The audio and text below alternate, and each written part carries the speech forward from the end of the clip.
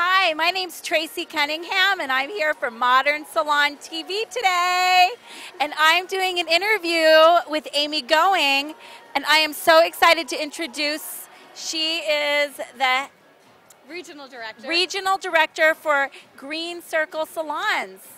Will you tell me a little about your company? Absolutely, yes. We work with salons all over North America to make them sustainable. So we're helping salons divert up to 95% of what they might be throwing away now from their paper, plastic, hair, metal, which includes contaminated foils, aerosol cans, um, their color tubes, their hair. Um, any excess color chemical left over in the bowl, we're taking it and we're diverting it rather than it going into landfill and into our water systems. Would you say hairdressers are a big part of helping the, well, we're a big part of contaminating the environment, I would think, right? Well, yes, the the industry, the industry is what creates this waste. Um, the artists and their craft do do create waste, um, but the amazing thing is with the passion that they have for sustainability and for helping to. Um, get rid of the waste that's created. Stylists are so passionate about having us in their salons and creating sustainability and doing something about it and being accountable to it. So working with the industry and working with the stylists and they're so amazing and then their guests are so excited about it too. Being able to look beautiful, feel beautiful and know you're doing something amazing is just an added bonus to being part of a Green Circle Salon member salon. Okay, so Amy, give me an example. What do you do with the foils? So the foils, the any of the metals that we take, we work with a recycler that's going to be able to melt that down, and any of that residue coming up um, is going to be scraped away, creates an ash that's used for like asphalt. So yeah, the hair.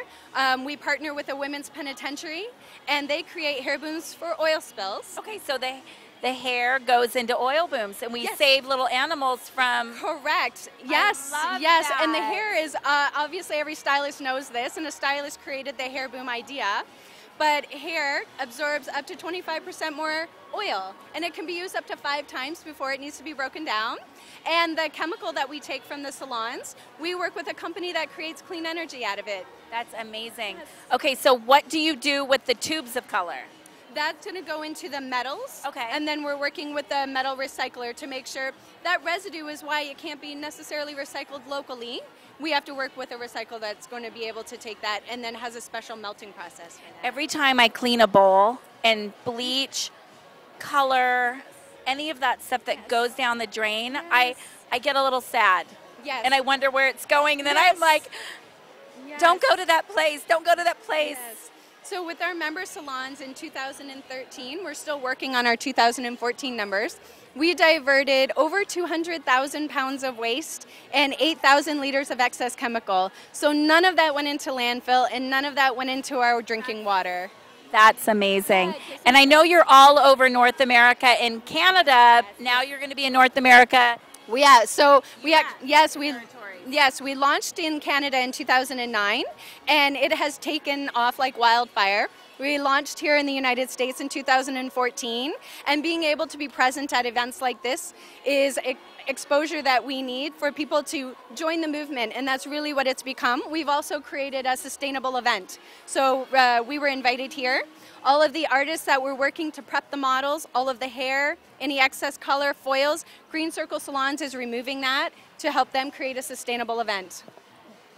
Am I your first salon to sign up, Mesh? Uh, yes, Salon? in at this event, yes, you were, and our LA salon. Yes, we're so excited to have We're you the on first board. Los Angeles Beverly Hills salon, and I hope that we are not the last. You will not be. I actually, um, our our CEO was in Mexico speaking at another event, and I let him know that you were on board, and he was so excited, and it's just getting all kinds of buzz, and and it's the passion of the stylists and their devotion to what we're doing allows us to be able to do what we do. We couldn't do it without our salons. I'm so excited, Amy. Thank you so much for being Oh my gosh, here. thank you so much. It's an honor.